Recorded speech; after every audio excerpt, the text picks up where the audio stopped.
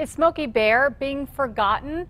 The town of Capitan has canceled its annual Smokey Bear celebration because there just aren't enough people stepping up.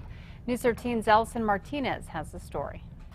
Only you can prevent wildfires.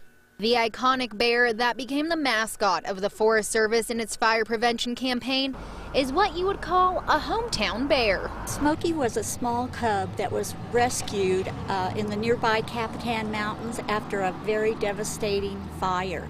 Little Smokey was badly burned on his paws and hind legs.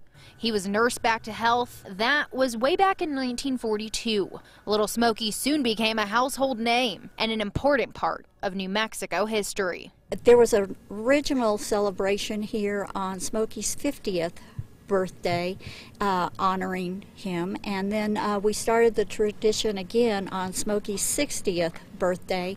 The tradition is called Smokey Days. And now, 15 years later, the event that brings thousands of visitors to the city of Capitan has been canceled. One reason there just aren't enough volunteers. So, is Little Smokey's legacy fading? There is some concern with that. Um, we do have some younger people that come out and, and help us. But of course, we'd like to see this carried on for a long time, and all of us who are doing it now are getting older. And In Capitan, Allison Martinez, KRQE News 13.